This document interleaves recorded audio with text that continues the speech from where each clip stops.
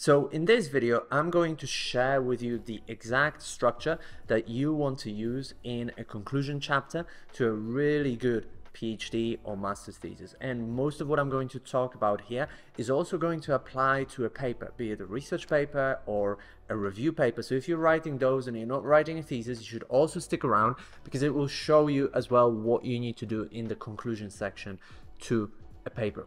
So I'm going to basically break it down to all the elements and sections that you need to include in the conclusion chapter to your PhD thesis. I'm going to show you a real life example from successful um, PhD thesis conclusion chapters. And then also you'll be able to kind of brainstorm your own ideas so that by the end of this video, you'll really walk out with you know a conclusion chapter that is completely mapped out uh, for you and for your thesis.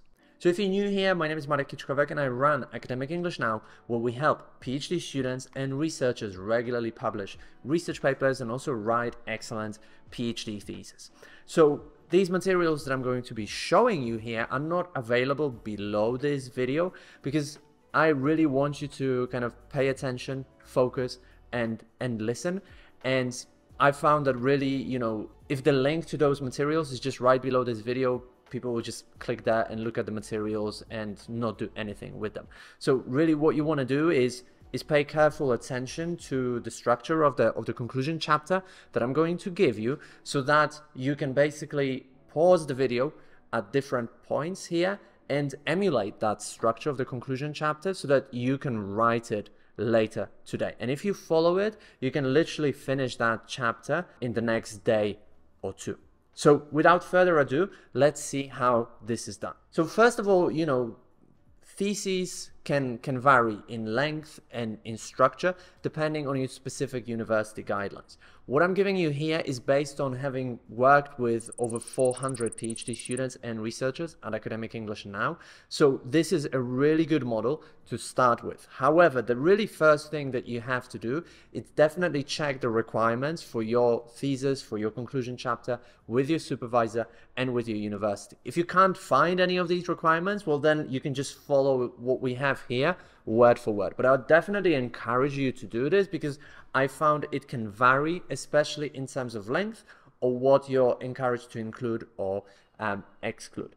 And really, you know, the after following this model, what you also want to do is download at least two or three um, conclusion uh, chapters or whole thesis from your department to be able to really match what we're going to talk about in this video with the models from your department and really fine tune this model that we have here. With that said, even if you just do this and follow this model, you'll have a really good conclusion chapter that your supervisor enjoys reading. So really, you know, after having seen hundreds of um, PhD theses at, at Academic English Now, um, it, it really comes down to around 3,000 to 4,000 words.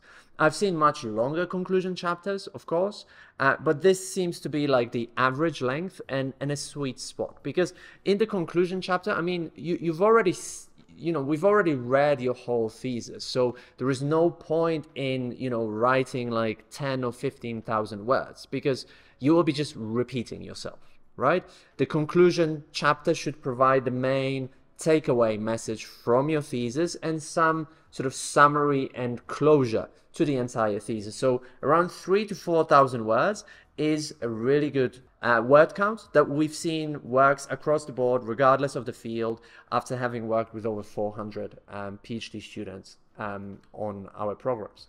And at the very beginning, you know, usually in just one paragraph, what you do is you restate the main topic and the importance of the topic. So it's kind of similar to the to the introduction um, as well, because you, you need to remind the reader, you know, what, what your thesis was about and why this is important um, at all, right? So that would be the first element, and I would really like try to do it in one paragraph, not much longer than that.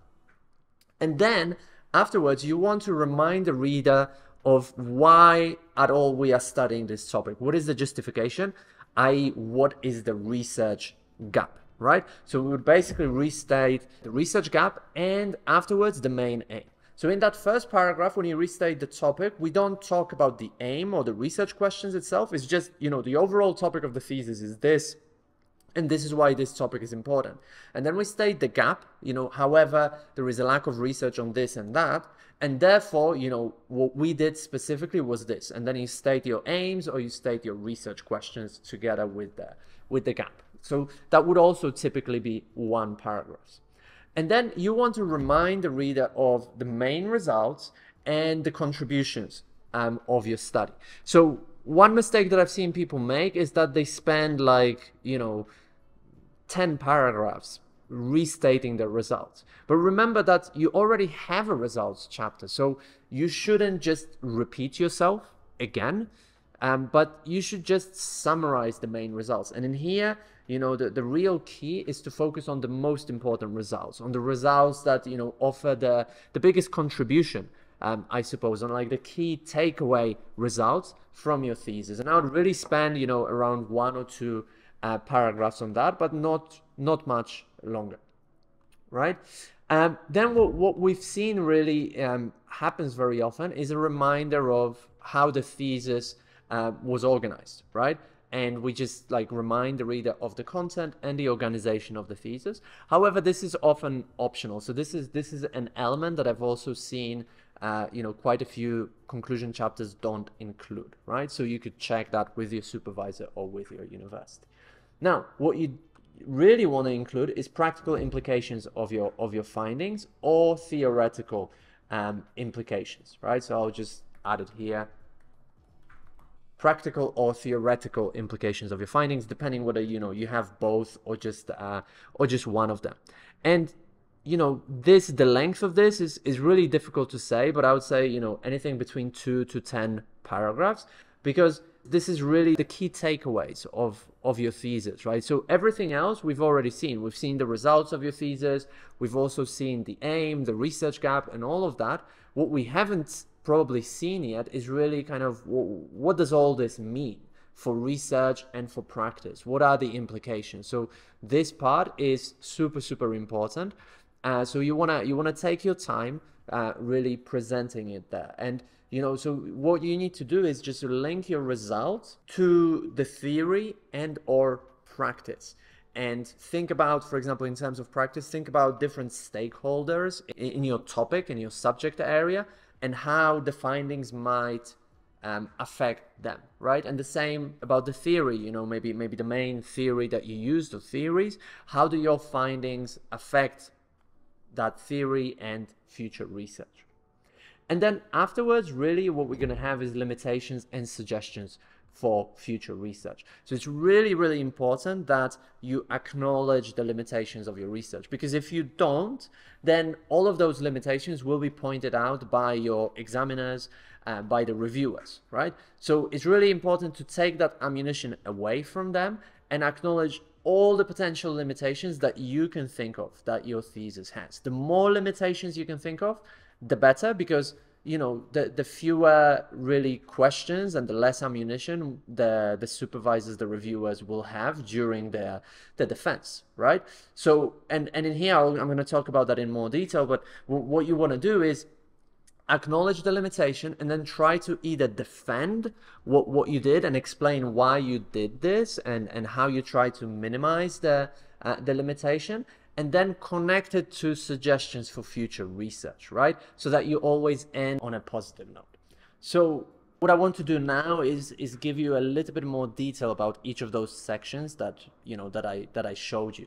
So really, you know, the the first thing that, that you want to do here, right, is state the importance of the topic. And what I found after you know working with um, over 400 PhD students and researchers is that there there are basically three types of the of, of the importance of the of the topic right? One of them is the importance for the world or society in general. And this is especially true for you know topics like cancer in medicine or maybe something to do with the environment and things like that things that really affect the humanity um, at large.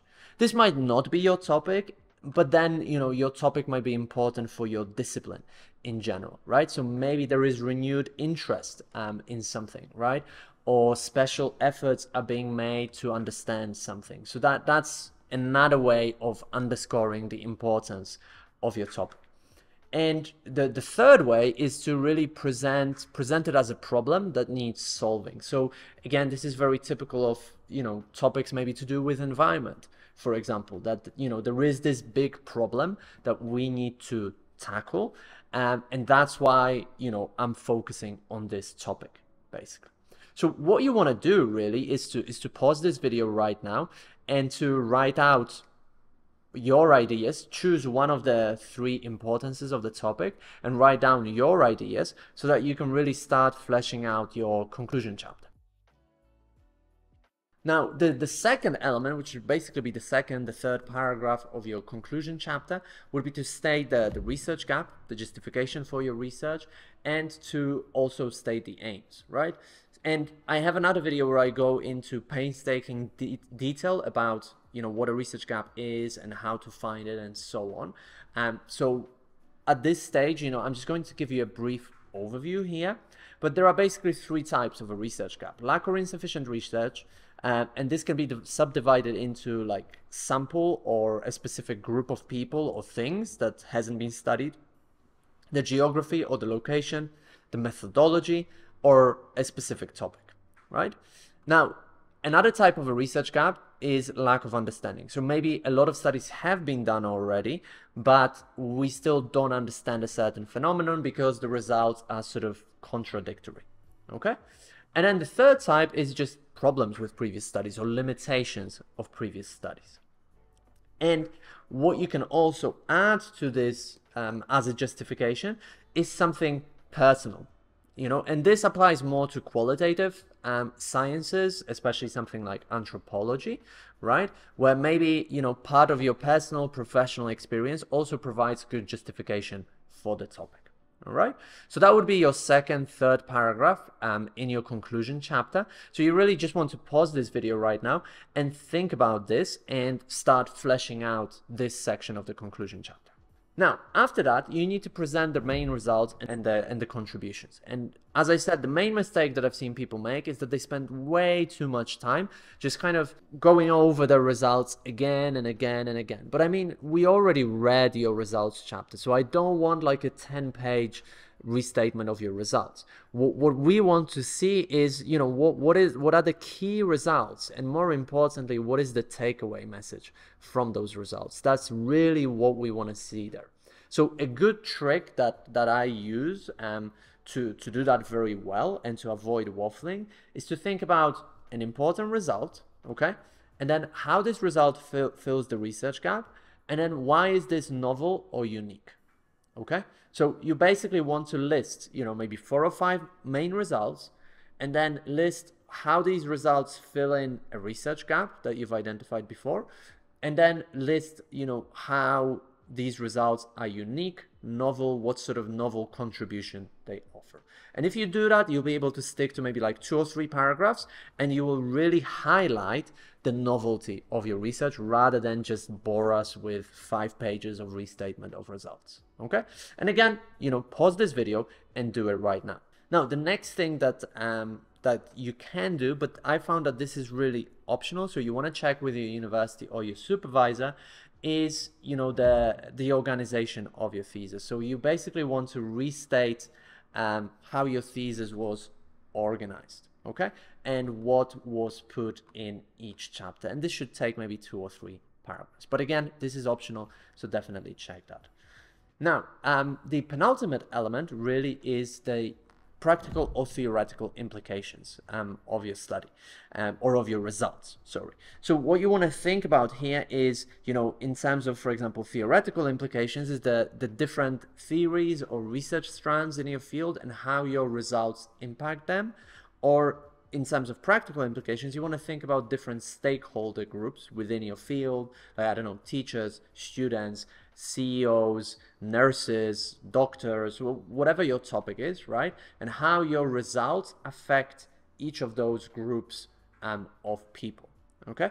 And and really, you know, the, the easiest way to write it in, in about, you know, three, four paragraphs is to put the main results here and you should already have them if you if you listed uh, them earlier right so again you put the same um, important results And then you want to think how each of these results affects each of the stakeholder groups that you've identified or each of the theories maybe that are important in your research field.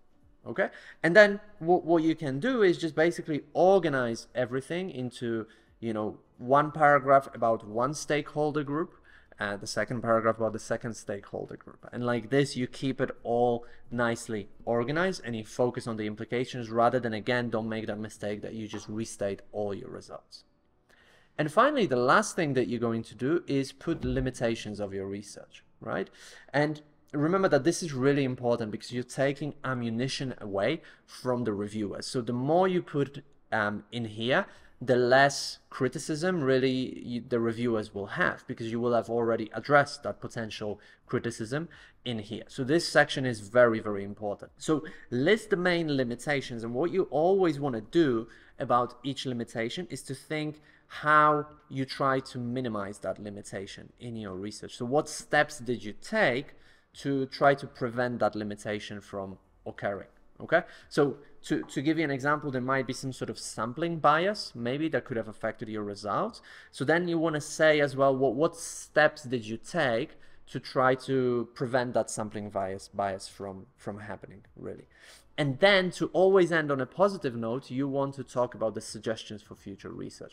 So really, usually, you know, one limitation of your research is usually linked to one suggestion for future research. Because let's say if your study has a small sample size, well, then the most logical suggestion for future research is to do a larger uh, sampling size. If there is some sort of bias in the way you selected your sample, well, the most logical suggestion would be to, you know, to use a, a less biased sampling strategy in future research. Okay, so this is really how you write um, a really excellent conclusion chapter. Now, if you want our personalized help, to write an excellent PhD thesis or to and to publish research papers in Q1 Scopus Index journals, then book a free one-to-one consultation. The link is right below this video. You'll meet one of our expert advisors one-to-one, and they will help you to identify the biggest challenges that you're facing right now and the root cause of those challenges help you to clarify your goals, and then really provide you with a three or four step action plan that will help you to get to those goals much faster. So if you want to do that, then the link is right below and the consultation is completely free.